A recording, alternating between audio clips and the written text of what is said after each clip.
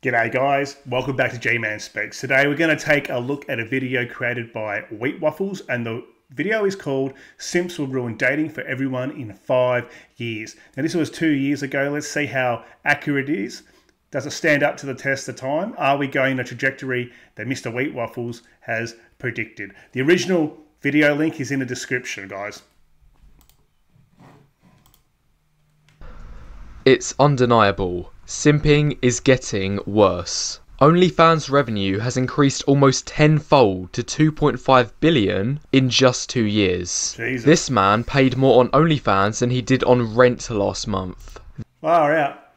And you hear stories about that sort of thing, about guys spending all their money and being proud of it. I'm not sure if it's actually a thing where uh, men like to be used financially. They get off on it. Like, they actually know they're being used, giving all their money to somebody. They, they, they keep just enough of their pay to be you know, to, to maintain sustenance, to live and survive, but they give the rest to some chick on the internet. Like I've heard about that. Guys giving away all their pay. It's weird shit. This is the guy here. This is the guy here who buys his wife's boyfriend a Nintendo Switch for Christmas. This teenager donated $20,000 worth of life savings to Twitch e-girls. These are some Donates. shocking numbers, but without being rest assured, it's not just these clowns who have to pay the price. Simping has huge ripple effects on the entire dating market and therefore affects everyone, including you. Boiled down, when a man simps, it undermines your value because as women get accustomed to being treated like queens, their desires from men transforms into preferences, then to expectations, and finally entitlements. I would say demands would be one. There are many women out there. I put up a video a few days ago about the, the, the 13 Melbourne women versus the Aussie Chad. Check that one out, guys, if you want. It really shows this sort of level of expectation and entitlement and all those kinds of women who are like three out of 10 on a good day, majority of them. Um, just downright obnoxious. And it is true. You get guys who simp or guys who pedestalize women and they do become accustomed to that because they're growing up with, and I think it's worse in this generation of women, um, or even in my generation, because the online dating that's been a thing now for like 20 years. You know, you had all those websites and all that before the dating apps. So about 20 years or more, this has been going on where women go on the internet, very average women, and you just have thousands of dudes just gassing their heads up for years and years on end, telling them how great and perfect and beautiful they are, or taking them out on dates and doing things that no one would do in real life. No guy would come up to them in real life and do them. But you get these thirsty guys online who are doing those things. You dirty bastards at home, it's you. You're doing it, creating these problems. You know, going on Oasis Active, plenty of fish with all the dirty, filthy single mums, telling them they're all hot. They think they're all hot because of you. and then Steve-O comes along and um, grounds and pounds them and disappears. And although these examples I've shown are mainly being benefited by a small minority of women at the top with a following, you'll see even at the lower levels, pretty much every average girl is being engulfed with attention, validation, and thirst from an innumerable count of desperate guys. Once Absolutely, and I'm going to admit, guys, when I was younger, when I was say, look, my early twenties or whatever, and I was on those, um, I used to go on Adult Matchmaker. I don't know if you guys ever heard of that. I'm not sure if it's still around, but that is the filthiest website. That was like 20 years ago, but I used to just, yeah, I used to do all these things thirst, validation, give them all this attention, try and gas them up, thinking that's what's going to get me the action. But it used to work because back then there weren't as many guys doing online dating. I'm like, this is like in 2003. And this is, this is, that was when, if you went on, if you met girls on the internet, that was weird. But I was, and I was like Captain Cook, I was pioneering it back then. It was great. It was doing a lot of damage, but I was doing all these things. I reckon if I was to do them now, I wouldn't have those same results. more boiled down, the dating market is getting more and more screwed. Anyway, the focal question of this video is going to be why? Why is simping at an all time high and continuing to set new all time highs year after year after year? Well, I'm going to be bringing you five reasons answering this question. So, without wasting any more time on the intro, let's get straight to the first. Reason 1 Male thirst. Yeah, you dirty The sad reality of today's dating game is that a lot of guys think so lowly of themselves that they believe their only chance to get their foot in the door is by simping. Every I I don't think it's that. I actually think it's like guys are actually indoctrinated to believe that that's the behavior that women respond well to when we uh, guys, we guys who watch your channel, guys who watch this content, we all know that they really don't. They find it off-putting. Like you guys out there who've had a woman come onto you and carry on and like stalk you and stuff and want to be your girlfriend. You, it's very off-putting to have that. So I can understand from a woman's perspective having dudes who are sharing you with um, compliments and bullshit and presents all the time. You're not going to respect them. So that, that that's what it is. It isn't so much I think lowly of themselves. It's like they're using the wrong strategy. They think it's a winning strategy that every other guy is doing. The year that passes, the dating market gets more and more competitive. This means an ever increasing number of guys are being forced out of the market, and the pool of accepted men becomes more and more concentrated to the guys at the top. Yeah, but how, I understand what he's saying, but let's let, us let us test the hypothesis. So he's saying that women are, are being simped on, it's pushing up their expectations of, of the men that they want and what they're expecting to get out of dating. But even the ten percent, even twenty percent of guys, they're not doing those things. They're not. They're not the ones that are that are throwing out the dates. They're not the ones taking them on hot air balloon rides over the Yarra Valley for the first date. You know, taking them to winery, spending five hundred bucks for a first date. They're not doing that. They're spending four bucks, five bucks, or six bucks, whatever it is. Don't get me started on that for a cup of coffee and a walk. That's all they're doing. So I don't know if that hypothesis stacks up then. If women who have been spoiled by these other men are now aiming up to get nothing at all from the top 10% or 20% of guys. This leaves a problem because for the majority of men at the bottom, their desires haven't changed. They have just as much of a will to compete as they always have had. So, in order to fulfill these desires, they've only got two options. Either grinds for several years trying to reach the top 10%, which is far from guaranteed, or to simp over women and pay for their time so they notice. It's one of these two things, or you give up. And it's not because because number two gets you nowhere. Like, it doesn't even get you attention. That's the thing. It doesn't get you any sort of result. Men need to understand that. Like women, women will milk it and farm it. It's like guys will farm uh, a girl who wants to be, you know, with a guy, and she'll sleep with him and do whatever she wants and all that stuff whenever he wants, any time of the day, uh, any time of the day. Of course, he's going to keep exploiting that situation. For a lot of guys, the simping option looks the most desirable because they see it as the easiest ticket back in the game. But of course, the problem is, simping never works out in the long run. Because even if a below average guy manages to attract a top woman into a relationship this way, the woman isn't actually attracted to him, rather only for what he can provide. There will always be a power imbalance as the man has essentially said to the girl from minute one, you and your time is worth more than me, so I'm happy to make up for that with my financial contribution. Rela- yeah, I think to an extent but I, I, think you know the black pill guys. I think they really jumped down the rabbit hole there, saying that women only want to extract 100% resources from men. Uh, I don't think it's a planned thing for many. I know, I know for some women it is, but what happens generally, it's on it's on the back end of a relationship where they get nasty. I don't think they go in thinking they're going to rip you off, but on the back end, of guys who've been divorced, hey, I've been there they will take their pound of flesh. They will make sure they'll use the law to get their money out of you. But I don't think they go in thinking that a lot of the time. Yeah, sure, you get these women who are stuck up, you know, with all the Botox and all this bullshit, who want dates, who want men to make effort and provide and all this bullshit that they carry on about on the internet. But majority, I don't think, really are out for that.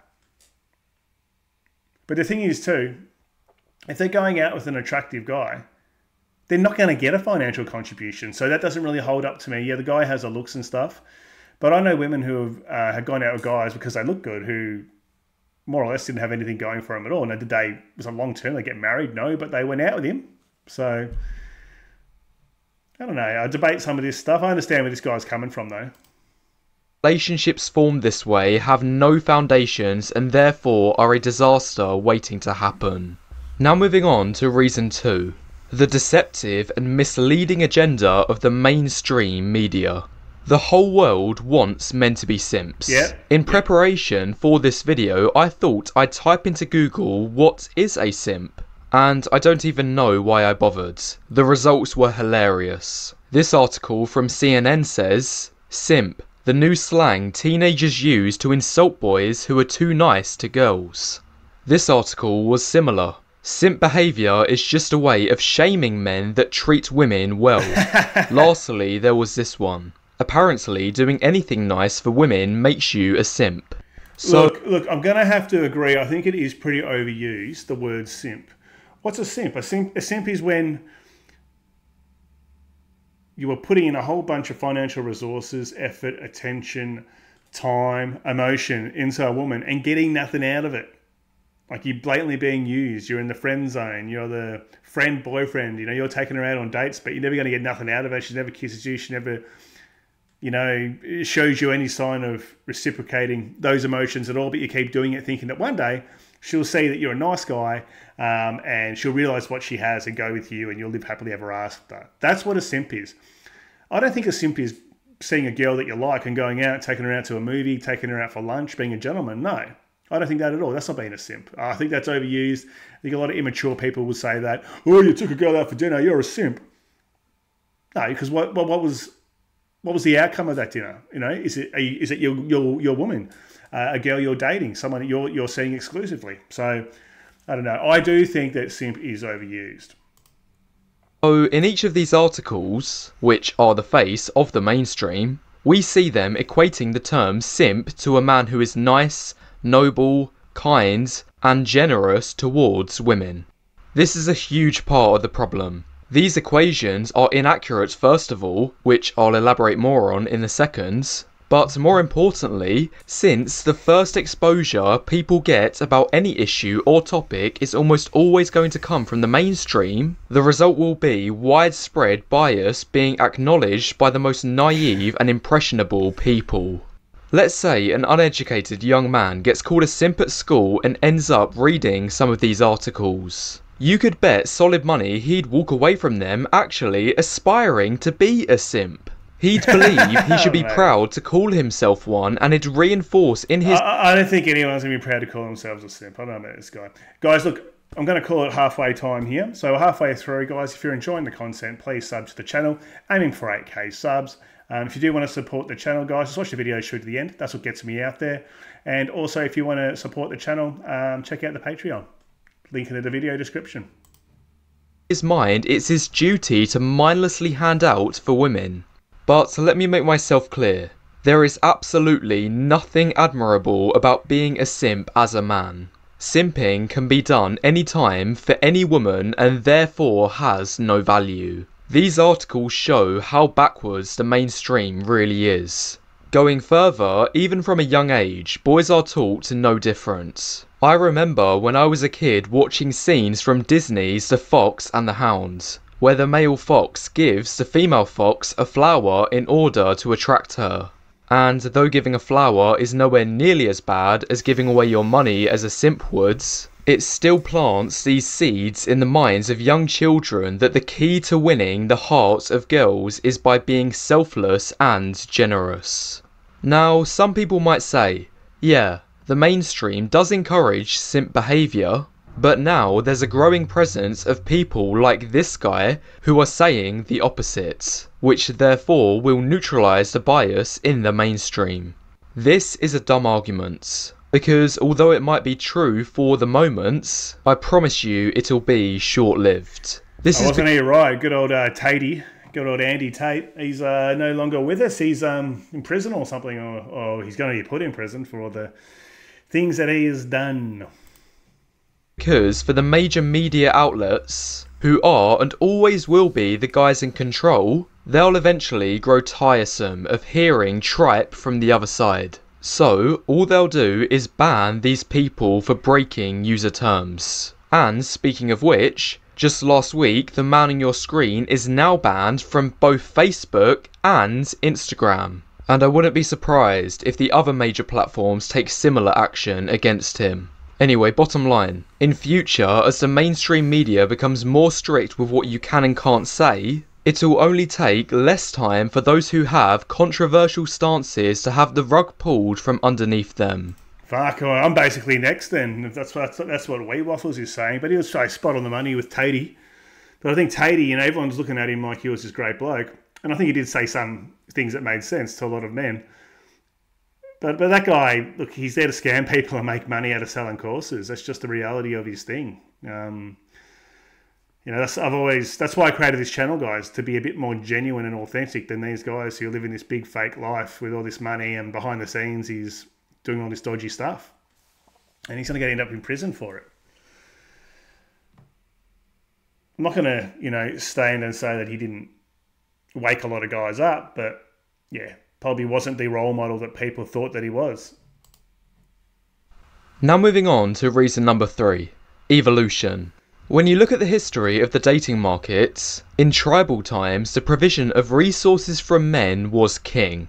If you were the man that could provide the most for a woman and her kids, and protect them as well, you'd be the one to pass on your genes. Therefore, male brains evolved to be driven to deliver as much as they can for women. In other words, men want to simp. It's in their DNA. However, what nobody told men is that nowadays things are far, far different. With the explosion of social media and online dating, I think it's quite evident looks is now king. Unfortunately, I think I think he, he's okay to a point. So he made that he made a good point there. So I'm sort of half agreeing with what he's saying here. I think, and he's articulating himself well my my view, my personal view on it, guys, is number one. I don't, I never agree with what everyone just says. Like a lot of these people just spit out the same things in every video, every channel. Guys, I'm going to critically look at stuff. So he's talking about guys wanting to simp and provision um, resources as a bad thing.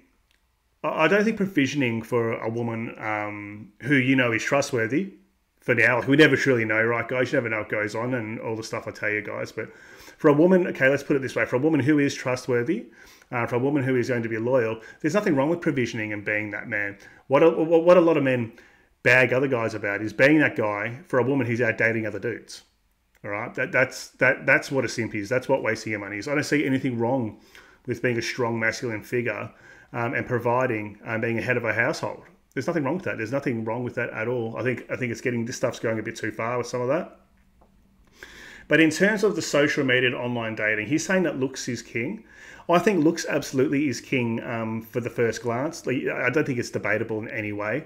You, uh, even as a man on dating apps, guys, when I was on them, I'll just be swiping all the girls I thought were attractive. And hey, a lot of the time, ones that weren't attractive, you work it out on the back end, right? You just swipe on everything. But women are going to swipe the best looking dudes, the ones who are fitting the fantasy of what they're trying to find. You know, the guy in the suit or a tradie or a fireman or whatever it is. You've got a picture like that and you're meeting that type, bang, you're in. They're not reading your profile. But the point I'm trying to make here is the reason why men now don't want to spend money and provision as much is because, yes, social media and online dating have turned that on its head because women now have so much choice and options, and a lot of the time, um, especially in their younger years, capitalizing on farming as much resources, attention, dates, presents out of multiple guys at a time uh, and openly bragging about it. So guys are sort of like, hang on, I'm okay to do it if you're just my girl, but not if you're out doing it with five guys behind my back. And that stuff actually happens quite a lot. That actually happened to me when I was younger, guys. So I'll, I'll tell you a personal story. I was about 20 years old. Um, I met this girl down at the gym, and she was like a gym instructor down there. Um, you know, she was all right. She had a really good rig, so I was right into her because she had a really good rig, and her head was all right. She was a bit of a prawn, um, bit of a paper bag job, but at the time, I was just happy to be there because she was this hot, fit girl. She was about two years older than me, so to me, she was the older woman. Long story short, I was out there taking her out for dinner, taking her out to movies, doing all those things, you know, once or twice a week. And she was out banging other dudes. I didn't find out till later because I was so naive, I thought, well, if I'm taking her out on dates, that she's my girl, I was happy to do it. But as soon as I found out and started realizing these things were happening, I dropped her like a hot rock. But that's that's what's happening now.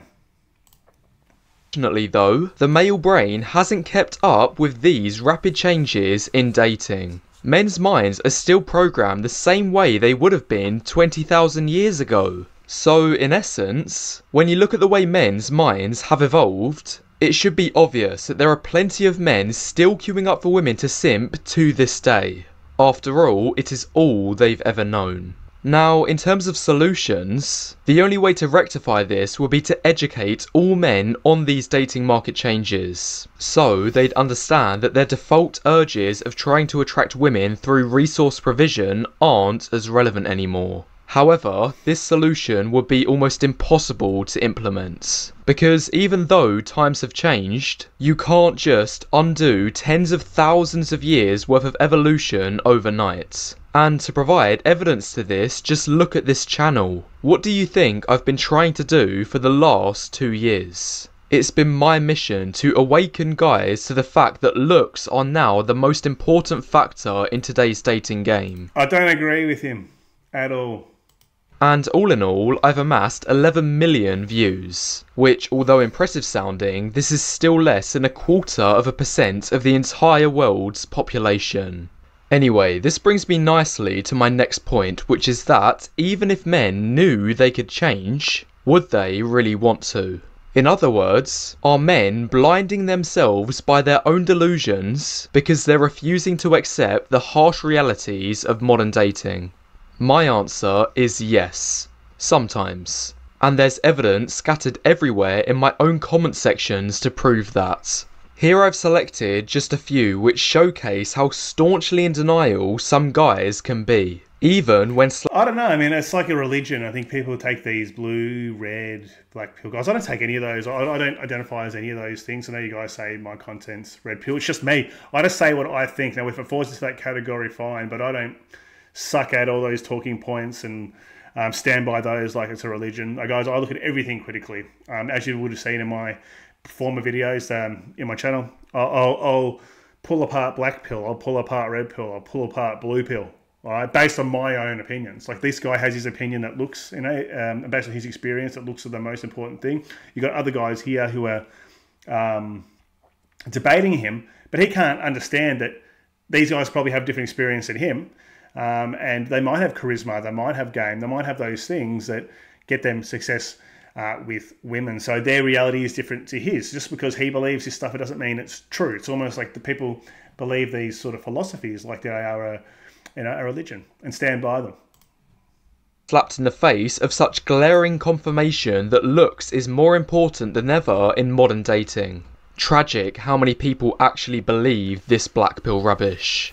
Looks do not matter when it comes to dating. It's charisma, confidence, and one's ability to flirt. Looks don't matter.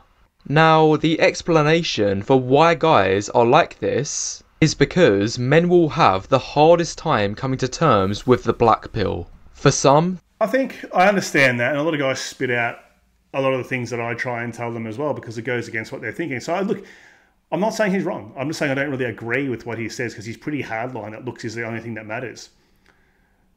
Looks are important there's no denying that, but it's not the only thing. They're going to get you so far. They'll get you, they might get you your foot in the door, but that's it. That's as far as it's going. The truth is just too hot to handle. And why can't they handle the truth? Well, if a man goes online seeking the truth about dating, he's going to be exposed to many different communities. He's going to see those blue pill articles, like the ones shown earlier that say it's a fantastic idea to simp, He's also going to encounter pickup artists, red pill self improvement gurus, and maybe black pill too if he reaches as far as my channel. Anyway, of all of these, these top ones are the most alluring because they take the least effort by far. Blue pill, just be nice, just buy her some chocolates and a bouquet of flowers. She'll be falling head over heels for you. Turning up at the front door with a love heart shaped box with your flowers. Oh, I'm here to pick you up for your date. I know a lot of you guys who Steve O's at home do that. Pickup art? Just use these copy paste texts and canned pickup lines I came up with. There's no. I don't think it's that easy at all. I've never been a PUA guy, but I think it's absolute skill. You need a lot of balls, resolve, and resilience to go through probably being rejected 99 times out of 100 uh, walking up to chicks all day and just getting told to piss off. So I think there's a bit more to it than that. Way, she won't like that. In fact, it's only when we get to Red Pill when we see talk of the monstrous amount of work needed to have a fulfilling dating life. At least these gurus will tell you you actually need to dedicate some serious efforts, years in the gym, weeks in a dark room alone trying to build your career or business. And finally, when we get to Black Pill, this teaches you the importance of improvement, but it also says how crazily difficult it is to climb the ladder of success. Yes, so don't try at all. So that's not the attitude that I agree with, guys. I'm a very optimistic kind of guy. If you put in in life, you will get out.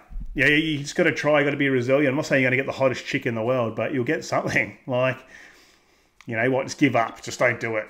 Just watch black pill, black pill videos telling you that it's all over and not to try. You know, is that what you want to, your life to be? I mean, that's why I don't overly agree with what this guy says. I think he makes some good points, but saying give up, it's too hard.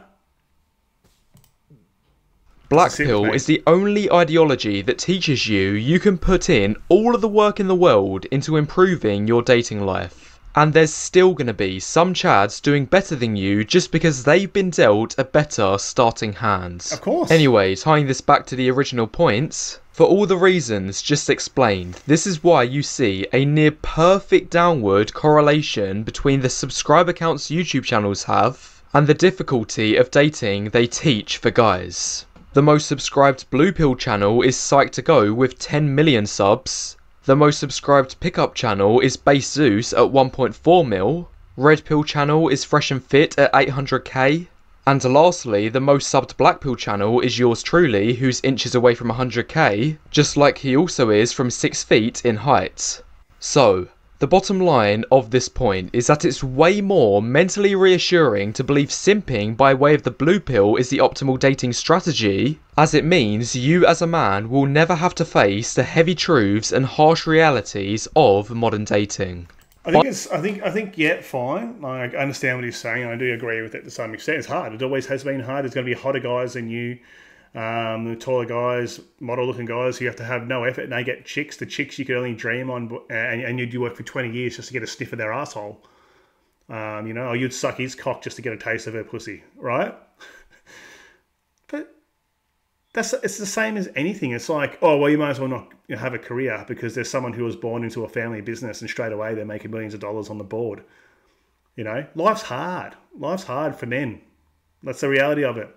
And yes, men do like to spit out um, uncomfortable truths, but I think that's human nature in general. It's human nature across the board.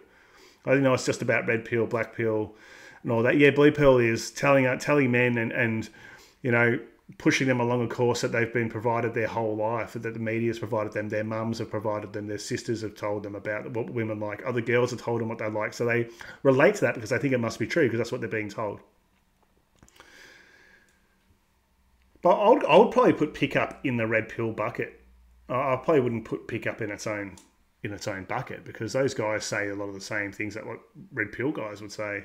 And black pill, I haven't watched most of it. it doesn't overly resonate with me. And no offense to you black pillers out there. Um, it's just it's my opinion on it. I'm happy to be challenged in the comments. Finally, moving on to reason five. Simping has never been easier. We currently live in a time of abundance where resources are so plentiful, it's caused an arms race amongst simps. Throughout history, most men didn't have the time nor money to even be able to simp. Here's the GDP per capita graph of the US in the last 50 years. You can see the significant increase where we are now three times richer than we were 50 years ago. And this trend will only continue in future giving simps even more ammunition to frivolously hand out. That's not the way it works, mate. It's just more people. There's more. There's a bigger population. There's more migration. Um, so this black pill dude shouldn't be talking about economics because, guys, I've got a background in finance and economics. I can tell you now, simping uh, is not a correlation to GPD, GDP per capita to women. Previously, it would have taken months, if not years, of saving if a man wanted to provide a luxurious holiday for a woman. What? But nowadays, this is within reach for most guys and can be achieved far quicker too. What's more is well, back in the day, even like my own parents were telling me I never went on overseas holidays or anything. I think it's because travel has become cheaper, the world has become more globalized, that people can go out and do these things. Like going to Greece or going on a yacht like these guys in the bottom left. My parents would have never done that. They were grinding it out. They were, they were um, you know, working class people. So going on a holiday and having those expectations, I was once in a lifetime thing was to go overseas or something like that. Like you'd go to some caravan park somewhere for your holiday when I was a kid and you're happy with that. But I think yeah, expectations of society across the board. I think it's because people are richer. I think it's because people think certain things are cheaper, certain things are more expensive. Access to credit is higher than ever, so guys can simp on women with money they don't even That's have. True. That's I've showed this data in a previous video. 76% of guys are willing to go into debt to woo a woman. Jesus Christ. This shows how widespread simping has become. I believe, no matter what the context, if you spend money that isn't yours to impress a female, you are, by definition, simping, no exceptions. Anyway, those are your 5 reasons why simping is here to stay and will inevitably grow even more in the years to come. If you All right, I'm going to end it there. So go check out Wheat Waffles channel. Uh, I've been told by some um, commenters that he doesn't make videos anymore, but still go over, give him a view, uh, give him some ad revenue, give him a sub as well. Um, yeah, so the reality is simping has been happening forever. Wars have been fought over women. You know, you guys seen that movie Troy, um, you know, where Orlando Bloom's character is a little simp for the queen and he does a little bitch move and steals the other king's wife, and next thing you know, fucking there's a full scale war over it. That shit happens. It's going to always happen. Guys aren't just going to become black pill or all red pillers, um, or just or just guys who have their eyes open. Um, I don't like putting labels on things, as you guys know from my other videos. But a lot of guys aren't going to wake up. Ninety percent of men uh, will live their whole life head in the sand until they cop a really bad divorce, guys. A really bad, or a woman doing things that they just never thought that a woman would be capable of. Um, and they get to a point where their, their, whole world, their whole notion of the world is just blown up. They can't understand it. Um, that's start of my journey many years ago. Um, and that wasn't even with my divorce or anything like that. That was just through dating and womanizing, just seeing what the fuck happens out there. All right, guys, thank you for watching. I'll end it here. Um, I'll see you in the next video. Cheers.